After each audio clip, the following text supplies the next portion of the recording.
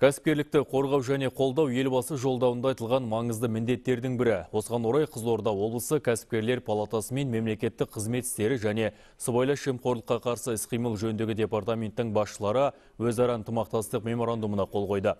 Заңды құжат негізінде бизнесті сыбайлас жемқорлықтан қорғау кәсіпкерліктің дамуына кедергі болатын түрлі жағдайларға тосқауыл қою көзделіп отыр. Өйткені атқарушы органдар тарапынан туындайтын мәселелер өте көп. Былтыр бизнес субъектілерінен 134 шағым түскен. Палатаның сарапшы мамандарының араласуымен оның 81 пайызы оң шешімін тауып 450 миллион теңге кәсіпкерлерге қайтарылды.